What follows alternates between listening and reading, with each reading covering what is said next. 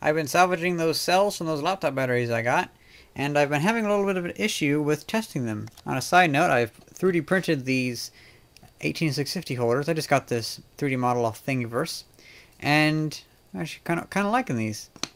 They're a good temporary thing, but either way, I've been running into some issues. Well, up until now, I've always had pretty good luck with just bringing all the cells up to 3.6 volts. Like all those cells are up to 3.6 volts. And then I charge them to 4.2 with my IMAX B6. And then I see how many milliamp hours of current it took to charge it up to 4.2 volts. Well, I've had some issues with, like, for instance, this cell took 4,500 milliamp hours to charge and only has actually 1 amp hour of discharge capacity. So it's obviously wasting energy somehow, and it's not really that warm either. So it's weird. But now it's gotten me wondering, should I trust just the input current, or should I also do like discharge and whatever? But the thing is, once I do discharge and stuff also, it just takes so much time to do this.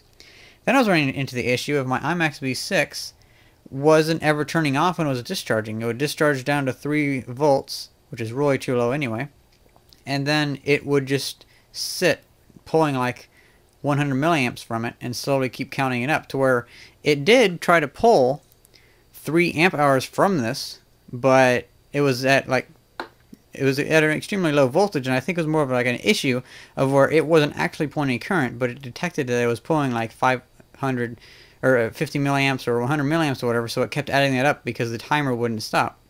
So this is odd I'm going to switch it over to the nickel cadmium setting and see if I can do that. Or I might just see about building my own from scratch. That'd probably be better.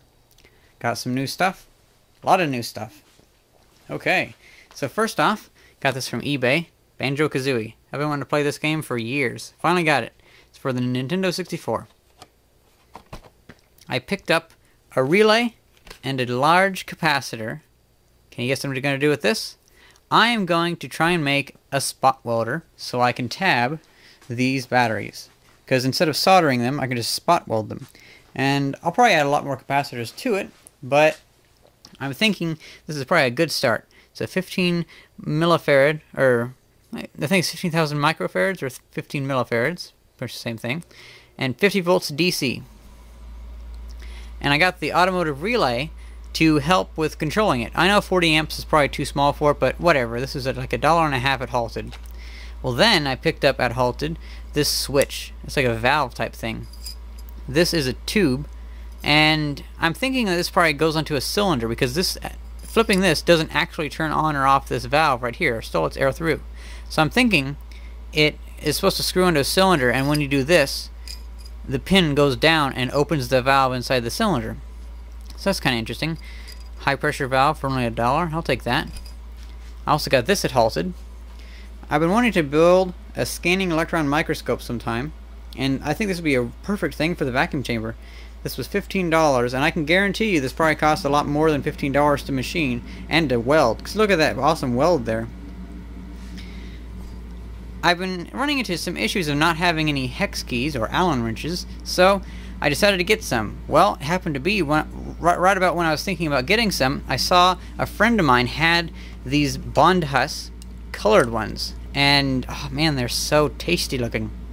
It's almost as good as, like, rainbow ribbon cable. It's just so colorful and wonderful. I love it. I would rather take this than just plain old black ones or whatever. So I had to get myself a pair. It was 30 bucks on Amazon and it came in only a couple days, so that's pretty cool. I'm really happy about this. This is probably going to be my uh, going into like my main toolbox kit because unfortunately now with my trunk, my big technician's case does not fit into the trunk anymore. I, I could easily add it on, on the top and strap it on there, but I'm thinking about redesigning and making a much smaller toolbox that'll take up less room, and the tools that'll be inside of it will be much more thought out. And that's what's going to be inside of it, or at least one tool. Then the final bit, the most expensive piece here, a JLD 404. This is an amp hour meter. Now this thing can read volts, amps, and amp hours. It'll count up amp hours. So I'm going to have this on my tricycle, probably like here or so. And it'll, it'll be in a waterproof case, I'm going to have a big dashboard right here with switches and buttons and stuff like that for headlights and all kinds of neat stuff. I might, I might even have a separate meter just to display volts. But either way, this was $60. I know it's a little bit pricey, but all the other places I saw was like $150. And this is pretty cool. This will count up the amp hours that I use on my battery, on my motor actually, when I ride. And then whenever I charge, whenever I charge the battery, it'll count back down. So I'll be able to be more mindful of how many amp hours I use. That's pretty cool. I think I think if you just like hold down one of the buttons, it'll just slowly tick through each setting so it'll show amp hours, current amps, or currently uh, the amount of amps that you're currently drawing, and the volts, and it'll keep keep going between that. So it's pretty nice. I can't wait. But right now I'm trying to figure out how I'm going to design, or what the shape's going to be for that. And you guys may have also noticed that I now have a bed out here. One of my friends dropped this off. It's a nice cot, and I'm using one of my landlord's sleeping bags. They have a bunch of camping stuff up here, so they let me use that as much as I want. And they gave me a pillow too, and actually gave it to me because they just didn't want anymore because it was a little, uh, it was getting a little bit old, but it's not really that old. It's like only six months old, but oh well. I think they go through a lot of pillows because they have some people renting here and stuff like that. So they, they just bought a lot of pillows and they just switch them out every so often. So it's been a couple days and some interesting things have, have popped up. First off, last night I cleaned out some more room and I opened up this area a little more so I could scoot the bed further back and I'm not having to put it away every night. So that's pretty nice. I have a nice little area to walk around. And oh, what are these? Oh, I wonder. Hmm. Well, I went to Weird Stuff Warehouse and, well, remember how I said I was wanting to build an electron microscope? Well, I need a vacuum chamber, and damn, they had the exact same thing I needed. This was $20, that was $55. Uh, part of me wishes I hadn't gotten that one, but, you know, for $55, I'm making more than enough money, and I'm saving $1,000 a month for my rent, so it's like, I can use that for a water chiller or something like that. But this, now, this was a water chiller, actually, so I could use it for the same thing. And this was a large oil filtration system. There's a giant filter in here. It's all oily and stuff. But it's it's not like a nasty oil. It's just like a... It looks like clean oil, so that's good. It's not like engine oil that's all black and gritty. I'm not entirely sure how I want to mount this system, but I'm thinking sideways would be an interesting way. Look at that. For 20 bucks? Hell yeah. And that filter comes out and it'll leave a big open room.